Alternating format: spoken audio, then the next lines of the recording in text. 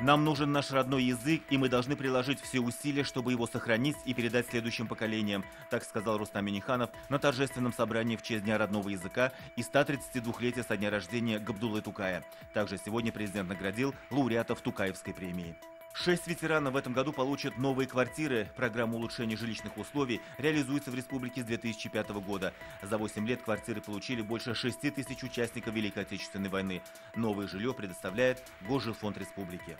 Сегодня в Казани Рустам Миниханов открыл обновленное здание Татарского государственного театра юного зрителя. Президент ознакомился с отремонтированными помещениями, присмотрел сценическую зарисовку артистов. Все, что ставится на сцене, должно притягивать молодежь, пожелал творцам Рустам Миниханов.